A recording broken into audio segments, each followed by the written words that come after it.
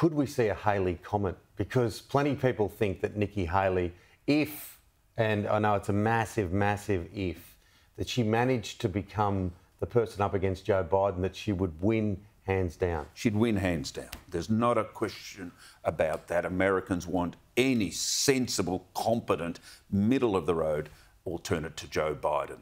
It's unlikely she'd be the Republican candidate if Trump is still standing. We'll, we'll have a better idea of Nikki Haley's standing within the Republican Party in two weeks' time when you have the first of the uh, primaries leading to the July convention for the Republicans when they choose their candidate. It's the Iowa caucuses.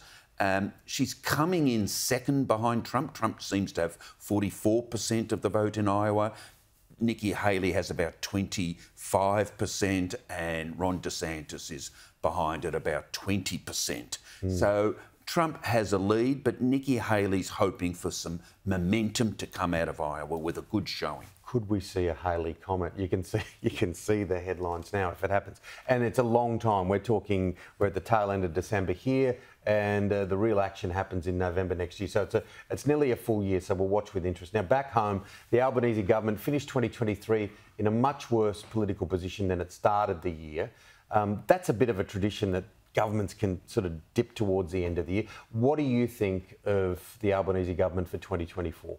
The gloss has come off it politically, there's no doubt about it, was in a stellar, uh, impregnable position at the beginning of 2023. It's finishing 2023 level pegging with the Dutton opposition marginally ahead, uh, would probably form government if an election was held today, but a minority government. Now, a lot of that is because cost of living um, has has uh, dented their political mm. fortunes. Albanese was not seen to be empathetic enough or doing enough. He was too distracted by the yet uh, by the refer- uh, the voice referendum.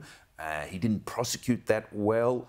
And then there were some colossal blunders by ministers that just dragged on unnecessarily. The decision not to give Qatar extra flights, uh, the, the, release into the community mm. of 120 potentially dangerous detainees. All of those issues weren't politically managed by so Albanese. He's, he's tied very much. We were discussing this off air. He's, dis- he's tied very much to what happens economically, isn't he? I couldn't agree more. And for the government, they're not panicking. They regard this as midterm blues. Next year, they're counting on a budget being in surplus because of the increased royalties for our mineral exports, as well as increased uh, corporate and personal tax rates. They're relying on a reduction in interest rates. If, if, if the government gets both, then the, the ship will be steadied. But it's a big if. We're done for time, but it'd be nice to have a more peaceful 2024, wouldn't it?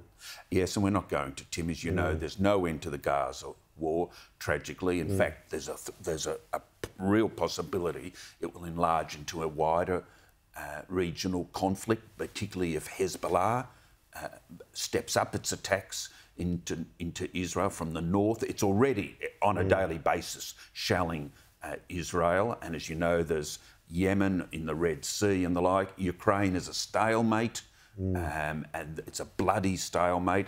No, it's a dismal picture worldwide. Yeah, not all that good, but we must uh, we must pick the edges of joy where we possibly can. Have a very happy New Year. Thanks, Tim. Okay, thank you, Peter.